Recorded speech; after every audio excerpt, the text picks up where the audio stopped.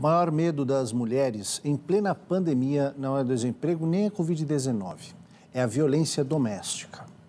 Esse é o resultado de uma pesquisa feita pela Associação dos Magistrados de São Paulo.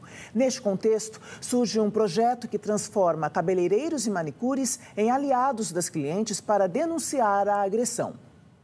É no salão de beleza que muitas mulheres relaxam e entre esmaltes e secadores se abrem contam para manicures e cabeleireiras o que sentem ou o que passam em casa.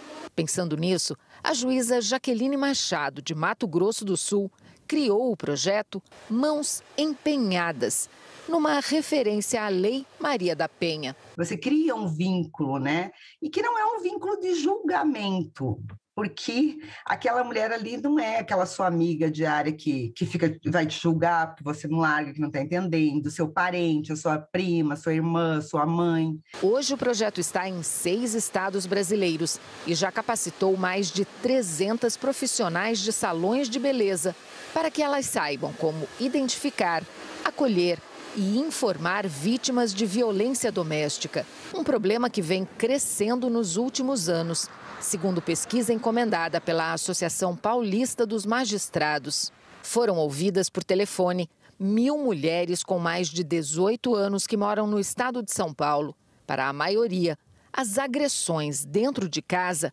são a maior ameaça atual para qualquer mulher. Hoje a gente fala muito de políticas públicas de geração de renda, de segurança, de segurança pública.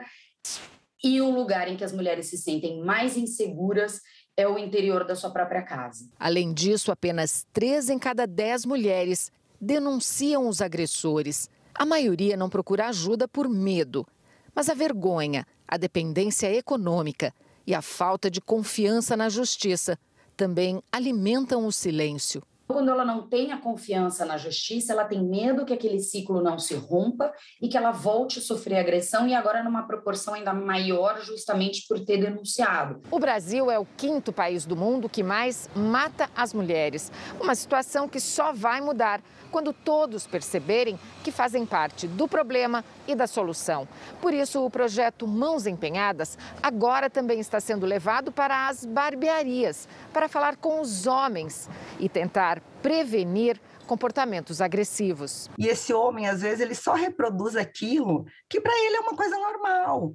Então eu vejo homens chegando lá e falando assim: "Ah, mas eu não, eu só xinguei". Quando a gente vê homens que vão para os grupos reflexivos, é, que começam a entender que não é normal essa violência que eles produzem, a gente tem depoimentos claros é, de homens que dizem: Nossa, como meu relacionamento mudou, como agora eu sou muito mais feliz, como eu não tenho mais medo de demonstrar meus sentimentos e não ter que ser aquele cara rude que é o machão, que vai falar grosso em casa.